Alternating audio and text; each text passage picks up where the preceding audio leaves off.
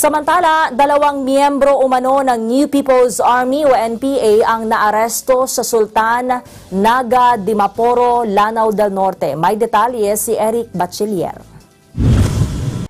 Arestado ang dalawang miyembro umano ng New People's Army o NPA sa isinagawang combat operation ng mga tawa ng 5th Mechanized Infantry Battalion, 49th Infantry Battalion, 2nd Maneuver Platoon, Regional Mobile Force Battalion at mga tawa ng PNP sa Barangay Dabreston, Sultanaga di Mapuro, Lanao del Norte. Kinilala ang mga naarestong rebelde na sina Christopher Cañete alias Glock at Virgin Vertudaso alias Thunder.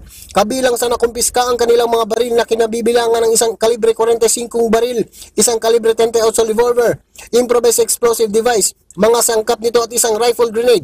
Habang ginagawa ang custodial briefing sa mga rebelde, nagbigay din ito ng impormasyon hinggil sa mga kagamitang pandigma kung saan nakatago ito sa barangay San Isidro, Kapatagan, Lanao del Norte.